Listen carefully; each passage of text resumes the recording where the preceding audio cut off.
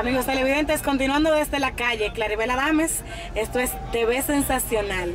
Y esta noche aquí en Jarabacoa pues tenemos grandes artistas, tenemos una fiesta bien caliente. Y en esta ocasión me encuentro con una persona que es polémica en cuanto a lo que es la música típica, es compositor, artista, realmente tiene todas las cualidades para llamarse como él dice. El mambólogo Giovanni Polanco con nosotros.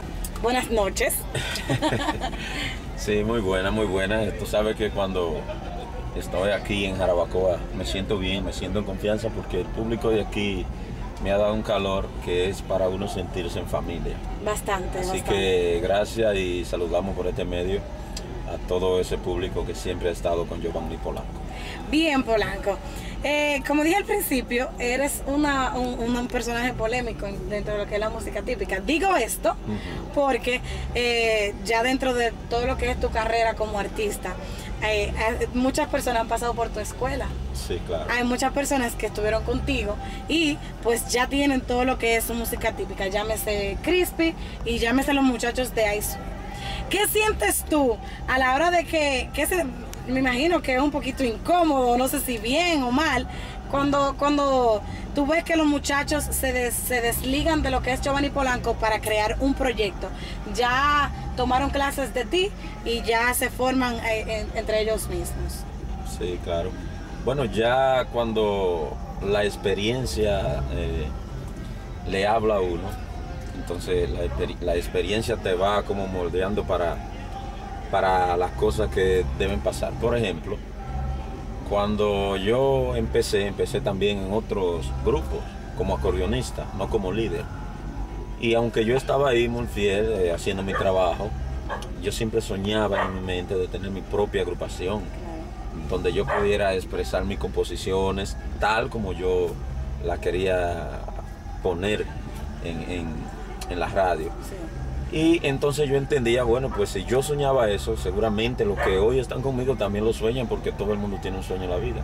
Entonces ya yo venía un poquito, ¿cómo se dice? Un poquito ya acostumbrado, preparado para esta situación.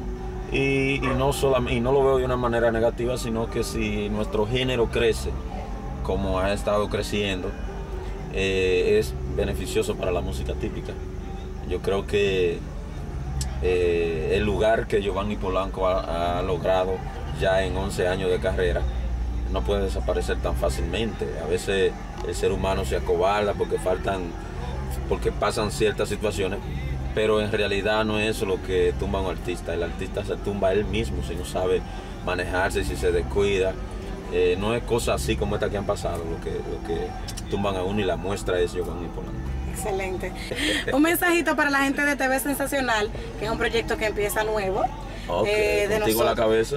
Y con Roberto Ureña también y un sinnúmero de muchachos que están trabajando con nosotros. Un mensajito a la gente que desde ya está apoyando lo que es este proyecto y pues nos ha, nos ha deseado toda la suerte del mundo. Me gustaría que también de tu parte, pues un mensajito para todos los muchachos. Pero claro que sí, tú sabes que de corazón eh, te deseo todo lo mejor. Tú tienes talento y también eh, puede contar con nosotros en lo que podamos ayudarte. Sé que en este programa es una puerta abierta para Giovanni Polanco y para la música típica, que es mi música y que la siento y la llevo de corazón. Así que para adelante y Jarabacoa apoyar este programa que yo sé que va a ser bueno para seguir poniendo a Jarabacoa bien en alto. Así es. Amigos, muchísimas gracias. Continuamos con todo lo que es TV Sensacional. Llegamos gracias a entrevista a Salón Selenia, ubicado en la calle Duarte. Claribel Adames estuvo con ustedes. Seguimos.